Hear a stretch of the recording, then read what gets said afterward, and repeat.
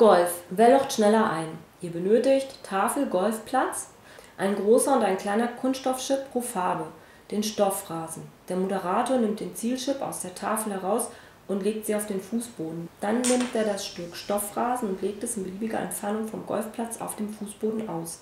Jeder Spieler nimmt die beiden Chips seiner Farbe. Die Spieler versuchen, ihren Chip mit möglichst wenigen Schlägen auf der Golfplatztafel einzulochen. Wer beginnt, macht als erster seinen Schlag.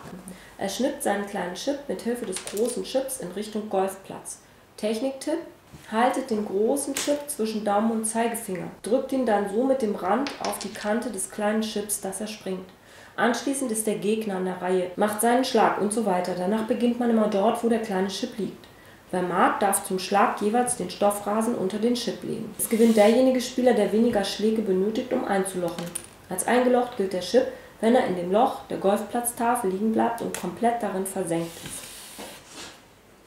Die Punktvergabe. Nach jedem Spiel werden die Punkte Eins, vergeben. zwei, In diesem Fall vier, hat der blaue, der Rabspieler, das Golfen gewonnen. Für das fünfte Spiel erhält er fünf Punkte. Und Der Rundenanzeiger wird weitergeschoben. wir kommen zum sechsten Spiel.